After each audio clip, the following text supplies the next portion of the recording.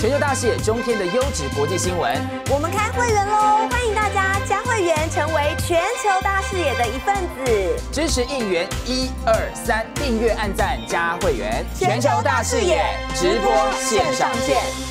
那最近呢，我们看到了中国大陆哦，在国庆的时候，其实有一连串的，我相信这些影片呢，都是有释放讯息的。我们刚看完了空军，接下来我们来看哦陆地的地面部队。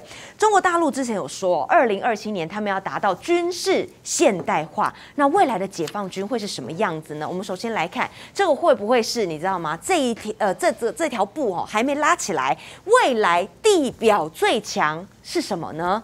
好，我们来看到这个坦克车哦。目前呢，坦克车出去一组大概要三个人，但是呢，中国大陆说解放军下一代的主战坦克只需要两个人，一个人负责开车，一个人负责打仗。好，除了坦克之外呢，还有比东风十七更强的大国利器，会是什么呢？帅将军，这个第一个，我们先讲它的地面部队。地面部队它这个。九九四啊，它分两次，一个是九九，一个是九九 A，但是都不是很新的产品了，有一段时间了。这个坦克车啊，当初在设计上就是有很大一个矛盾的东西。我要防止敌人贯穿我，我就要装甲厚。我装甲厚呢，我的马力要大，要不然开不动，太重，对不对？马力要大呢，车型就要加大。车型加大了，又容易被打中。好了，所以它一直在这。它这个两个区别在哪里？后面九九 A 啊是比较轻一点的，因为现在的这个防反反弹装甲有很多种，能够打穿坦克车的只有两种设计，一个叫做锥形张药高温火箭燃烧锥，它这个炮炮弹一打到你呢。就产生非常高温的一个锥形的火柱，可以把你的钢板烧穿，十几公分的钢板都可以烧穿，然后喷出来很烫的钢液呢，就把坦克车里面的人烫死了，或者是火药炮弹引爆了。另外一种呢是完全靠动能，动能就是那种里面用钨钢的弹头，那很尖的，或者是用平铀，就是那个铀啊，铀原料有辐射性的。这种弹头，这个弹头呢，靠速度跟动能去打穿，所以你看它的，你有矛嘛，我就有盾啊。我的装甲就分了，有片状的、块状的、复合陶瓷装备的，还有反应炸药的。就是说你炸我的时候，我也同时往外炸，往外炸就把你锥形火那个火柱啊就推开了，推开里面就不会受伤。所以这个东西啊，经过这几十年，二次大战坦克为主了，所以大家非常迷信这个坦克在陆军里面的作用。是，它是有作用的。它，你像以前一次大战、二次大战里面主要的机关枪了、迫击炮了、炮弹碎片了、子弹了，都是对战斗员的一个伤害。有了坦克车就百无禁忌了。可是现在的反装甲飞弹越来越多，有监射的、有手提的、有天上打的、有直升机的。而且再厚的钢板，它也钻得进来。一物克一物啊！对，所以它这个九九 A 号称世界最强，也不必了，也算是个好战车了。是它好处在哪里？它一二零的光膛炮，光膛炮是好处是除了装甲车的炮弹以外，它还可以射小型的飞弹，一样火箭这种东西可以出去。它口径够大。第二个，它重量比较轻，马力比较大，它机动的速度就比较高。从九九九是 A 的，呃，是七十五公里每小时，以前一个形式是五十公里，所以巡航半径呢也有几几几百公里够了。在地面作战来讲，这个武器它还是有价值，但是呢，从俄乌战争里面已经看出来啊，损耗率很高，因为现在反装甲武器越来越便宜。你我举个例子好了，我们上次为什么要买 Apache？我多少年前就主张买 Apache，或者这个武装直升机。